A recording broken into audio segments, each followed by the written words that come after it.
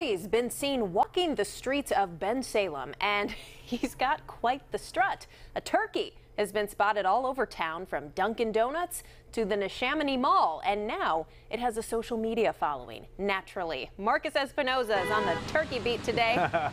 hey, Marcus, did you have any luck finding it? No, I have FOMO. I'm the only person in Bensalem that hasn't seen this turkey. Listen, okay, this turkey can do no wrong. Behind me, it often holds up traffic right here, and everybody loves it. They take a video, post it to his own Facebook page, and this town can't get enough. Ben the Turkey, I know he's been around for a little while now. Yes, you heard right. There's a well-known turkey in Bensalem, and he's accumulated quite the following.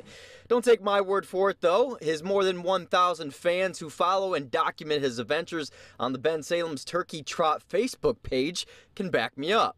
So people started noticing and they were posting pictures on different Bensalem community pages. So I thought, why not make a page just for the turkey? Turns out he's quite the hit around town as nearly every day, several times a day, people post snaps or videos of them with Ben the Turkey. Julie Rosenberg, who created the page, said she was inspired to do so because, well, we could all use a little levity in our lives.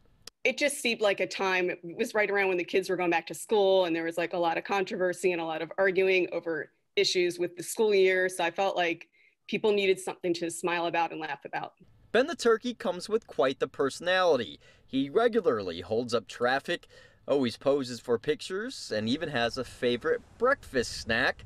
Just ask Dunkin' Donut manager Justin Johnson. Every day I come in around 6.30, 7 o'clock. I'll see him strolling around. He'll be up and down the road. Sometimes he'll be at our back door. So how in this crazy world has a turkey named Ben brought so many people together? People have really taken it into more of something that's fascinating um, with Thanksgiving being around the corner, it's like a little spirit thing. Opening back door, give them a little donut, give them a little what treat. What kind of donut? Uh, old fashioned.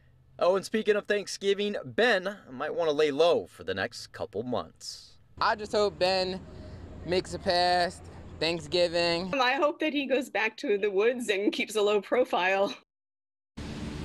Listen, Ben the turkey is off limits for the rest of his life, okay? Never to be used at any dinner tables. He's not the turkey we deserve, but he's the turkey we need right now. And it's clear, Jason, that this town loves their turkey. Uh, the perfect reporter for this story, Marcus Espinoza. thank you very much.